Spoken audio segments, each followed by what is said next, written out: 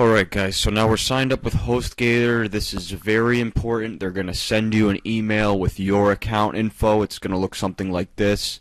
You're probably on maybe Google or Yahoo. I use a lot of different emails for different accounts with different services, but I signed up with my Juno. But anyway, basic message is going to say, hello, whoever you are, thanks for ordering HostGator. You can log into our billing system. We're not going to worry about that right now. What we need that's very important from this email, and save this email, do not delete it. Make yourself a copy that you save on your computer.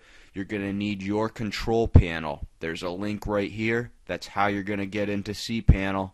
We're going to get into a cPanel in a different tutorial. It's very easy, simple stuff. But that's how you're going to access your website and install everything. And then you're going to need your password they're going to give you yourself, themselves. It's going to be a random string of letters and numbers and symbols and stuff, but you got to save it because you're going to need that password and this username from this email to get into this control panel login. The other two things that are very important that you need to save are first name server and second name server. It's going to be a random bunch of numbers and letter jumble dot .hostgator.com. You're going to have two different ones.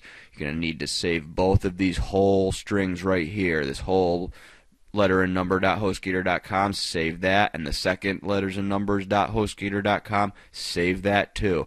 And I'm going to explain, we're going to use the first and second name servers on Namecheap right now in the next tutorial.